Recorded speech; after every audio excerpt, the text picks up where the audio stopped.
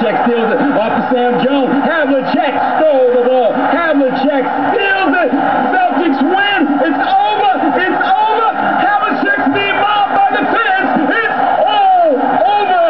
Another great victory by the Seas. A spectacular series comes to an end in spectacular fashion.